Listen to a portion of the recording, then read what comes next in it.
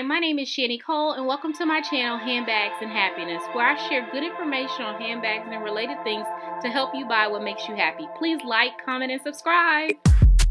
Every year around my birthday, I go to New York City for a little shopping trip, and this year I was no exception.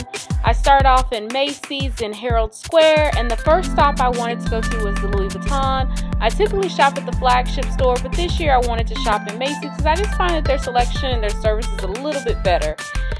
When you first walked in, they had tons of bags on display, a lot of leather. I don't know, I haven't been in a Louis Vuitton store recently where I've seen any canvas no canvas on display. Of course, they had these wave bags. Not my favorite parts of Louis Vuitton's handbag collection. Neither is the twist, but they had a lot of beautiful leather. I do like these new bags. I think they're very chic and modern. I love silver hardware, so I gravitate towards silver and black.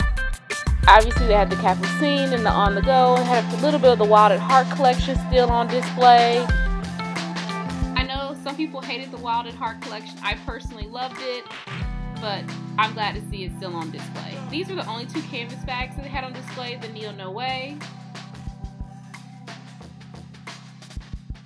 In the very front of the store, they were showing off the new camera bag. I believe it's called the Torca. I'm sorry if I'm mispronouncing it. It comes in this pink color, this tan color, black, and blue.